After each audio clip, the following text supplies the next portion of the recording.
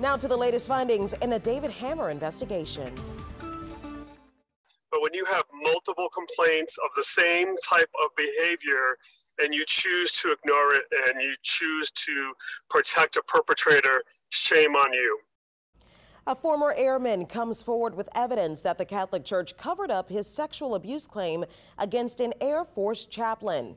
Our David Hammer investigation found the Archdiocese for the Military Services appeared to hide a sexual assault claim against former New Orleans priest Brian Highfill.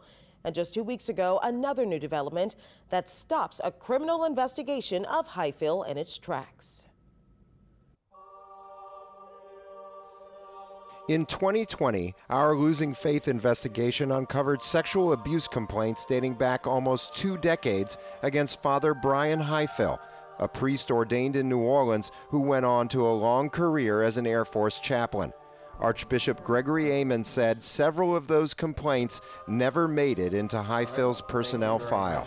To be very honest, it, it, it angers me that we didn't have the information that we needed because this whole process would have been much simpler for us.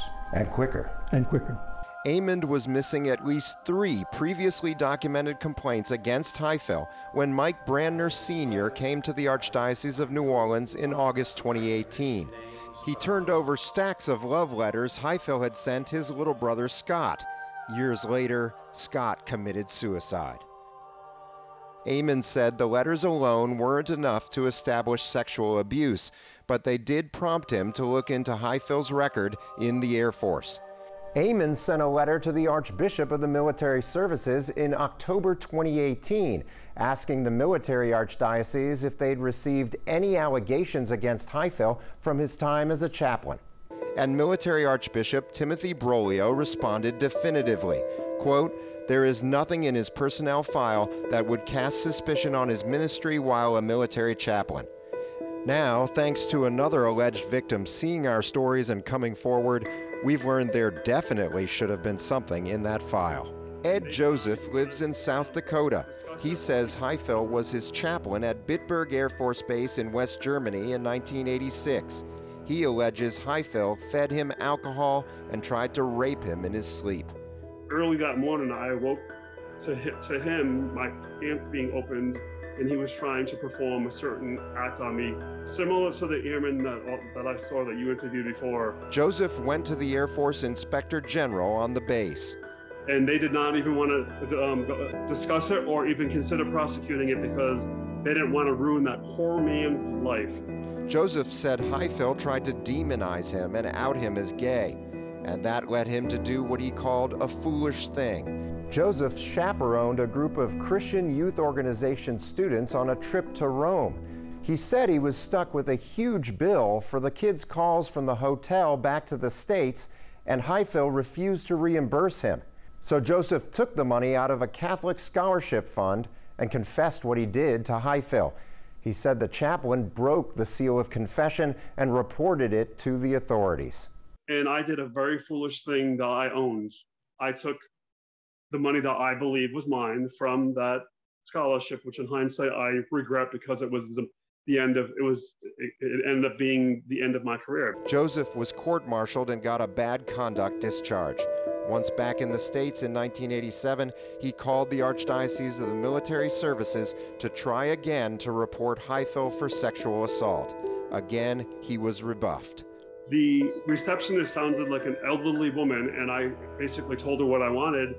She said to me I should be ashamed of myself, that I was a pervert, and that I was in a burning hell, and hung up on me. There's no written record of those old complaints, but there's plenty from 2015 and 2016. Joseph was working for the VA then, and he filed a military sexual trauma claim. He also exchanged dozens of emails with the Military Archdiocese Victims Assistance Coordinator and Vicar General, explicitly accusing Highfill of sexual assault. We confronted the Archdiocese of the Military Services with those records. A spokesman acknowledged that AMS sent the sexual assault complaint to the Air Force for investigation in October 2016. So, how does AMS explain Archbishop Broglio's letter to Aymond more than two years later in November 2018, stating there was nothing to report from Highfill's personnel file? The spokesman wrote, quote, The AMS did not receive any reports or briefings from the Air Force investigation and was not contacted to participate in any investigation. Therefore, there were no findings to note in Monsignor Highfill's personnel record. After our last story, we didn't just hear from more alleged victims, we also heard from Monsignor Gene Gomulka. He was the head of all chaplains for the U.S. Marines when he wrote about five abuse cases by Catholic chaplains alone in a three year period from 1991 to 1994. But the Archbishop at the time, now Cardinal Edwin O'Brien, turned around and filed an official report stating there had only been two abuse cases by chaplains dating back to 1950. How can there be two cases in a 52 year period with all those thousands uh, over a period of time, the thousands of, of chaplains, only two cases of abuse. So when Gomulka saw our story about Broglio's comments on Highfill, it struck a nerve. I could not help but say, David, you're, you're right on target. I mean, you uh, things have really not changed. The Air Force Office of Special Investigations told Joseph recently that federal prosecutors would be contacting him about pressing criminal charges against Highfill. He needs to be prosecuted and he needs to be sent to prison for what he did. But then, just last week, we delivered some news that sickened Joseph. The Archdiocese of New Orleans announced Highfill died of cancer two weeks ago at age 79. The church bulletin says, May he rest in peace. He's not going to have eternal rest if there's such a thing, not considering what he, the crimes that he's committed, crimes against humanity, and I'm going to just hopefully let him go and just move on. I have to, otherwise I'm going to torture myself. That's the new challenge for Highfill's alleged victims. Their stories helped us expose a cover up, but they'll never get to confront their tormentor. David Hammer, Eyewitness News.